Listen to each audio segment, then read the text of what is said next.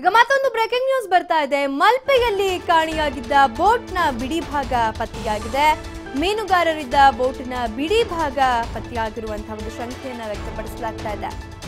ಮಹಾರಾಷ್ಟ್ರದ ರತ್ನಗಿರಿ ಬಳಿ ಬೋಟಿನ ಬಿಡಿ ಭಾಗಗಳು ಪತ್ತೆಯಾಗಿದೆ. ಅಂಕೋಲಾದ ಬೇಲಿಕೇರಿ ಮೂಲದ ಮೀನುಗಾರರ ಕಣ್ಣಿಗೆ ಈ ಒಂದು ಅವಶೇಷಗಳು ಬಿದ್ದಿದೆ. ಡಿಸೆಂಬರ್ ಹದಿನೈದರಿಂದ ಮಲ್ಪೆ ಮೂಲದ ಬೋಟ್ ಒಂದು ಸಂಪರ್ಕಕ್ಕೆ ಸಿಗ್ತಾ ಇರಲಿಲ್ಲ. ಏಳು ಮೀನುಗಾರರಿದ್ದಂತಹ ಬೋಟ್ ನಾಪತ್ತೆಯಾಗಿ ಐವತ್ತು ದಿನಗಳೇ ಕಳೆದಿವೆ.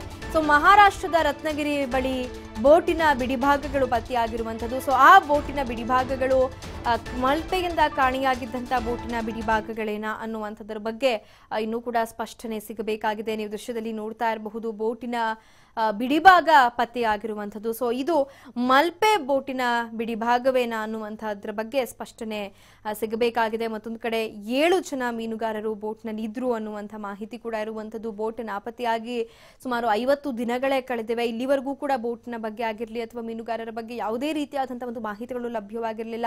ಕಾಣೆಯಾಗಿದ್ದಂಥ ಬೋಟ್ ಸಂಪರ್ಕಕ್ಕೂ ಕೂಡ ಸಿಕ್ಕಿರಲಿಲ್ಲ. ಇದೀಗ ಮಹಾರಾಷ್ಟ್ರದ ಬಳಿಯಲ್ಲಿ ಬೋಟ್ನ ಬಿಡಿಭಾಗ ಪತ್ತೆಯಾಗಿದೆ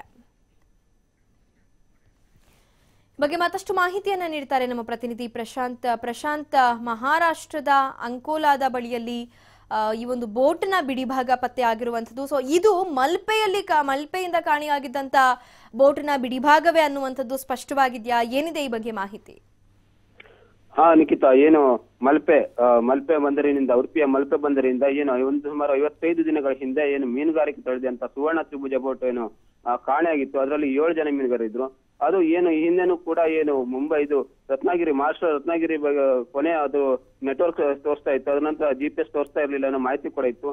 ಅದಕ್ಕೆ ಏನು ಪುಷ್ಟೀಕರಿಸುವಂತೆ ಏನು, ಅಂಕೋಲ ತಾಲೂಕಿನ, ಏನು, ಬೆಲಿಕೇರಿ ಮೀನುಗಾರರೊಬ್ಬ, ಏನು, ನಿನ್ನೆ ಮೀನುಗಾರಿಕೆ ತೊಳೆದ ಸಂದರ್ಭದಲ್ಲಿ ಅಲ್ಲಿ ನೋಡಿದಾನೆ. ಏನು ಬೋಟ್ನ ಏನು ಸುವರ್ಣ ತ್ರಿಭುಜ ಬೋಟ್ ಅನ್ನು ನಿಖರವಾದ ಮಾಹಿತಿ ಇಲ್ಲದಿದ್ರು ಕೂಡ ಬೋಟ್ನ ಅಂದ್ರೆ ಏನು, ಕ್ಯಾಬಿನ್ ಮೇಲ್ಭಾಗವಾದ ಒಂದು ಏನನ್ನು ತಿಳ್ತಾ ಇರೋದು ಅಲ್ಲಿ ಕಂಡು ಬಂದಿದೆ. ಆ, ಅದರ ಫೋಟೋ ಸಮೇತನು ಕೂಡ ಆತ ಏನು, ಆ, ಉಡುಪಿಯಲ್ಲಿರುವಂತ ಎಸ್ ಪಿ, ಏನು, ಕರಾವಳಿ ಕಾವಲುಪಡೆ ಎಸ್ ಪಿ ಅವರಿಗೆ ಕೂಡ ಮಾಹಿತಿ ಕೊಟ್ಟಿದ್ದಾನೆ. ಆ ಬಳಿಕ ಏನೀಗ ಪೊಲೀಸ್ ಅಧಿಕಾರಿಗಳ ತಂಡ ಅಲ್ಲಿಗೆ ಮಹಾರಾಷ್ಟ್ರಕ್ಕೆ ತೆರಳಿರುವಂತದ್ದು ರತ್ನಗಿರಿ ಕಡಲಲ್ಲಿ ಇದು ತೇಲ್ತಾ ಇರೋದು ಕೂಡ ಹೇಳಿರೋದ್ರಿಂದ ಅಲ್ಲಿಗೆ ತಳಿಯ ಪರಿಶೀಲನೆ ಕೂಡ ಇರುತ್ತೆ ಹೇಳಿದ್ದಾರೆ. ಇದು ಕಂಡು ಬಂದಿದ್ದು ಏನು ಈತ ಏನು ಬೆಲಿಕೆರೆ ಮೀನುಗಾರ ಈತ? ಅಂಕೋಲ ತಾಲೂಕಿನ ಬೆಲಿಕೆರೆ ಮೀನುಗಾರ. ಈತ ಹೊರಗಡೆ ಮೀನುಗಾರಿಕೆ ತೊಳೆದು ಆಳ ಸಮುದ್ರ ಮೀನುಗಾರಿಕೆ ತೊಳೆದ ಸಂದರ್ಭದಲ್ಲಿ ಅದನ್ನು ಏನು ಆ ಬೋಟ್ನ ಕ್ಯಾಬಿನ್ ಅನ್ನು ಹೇಳೋದು ಅಂತ ಕಂಡು ಬಂದಿದೆ. ಅದನ್ನ ನೋಡಿದ್ದಾನೆ ನಿಖಿತ. ಓಕೆ, ಧನ್ಯವಾದ ಪ್ರಶಾಂತ್ ಮಾಹಿತಿಗಾಗಿ.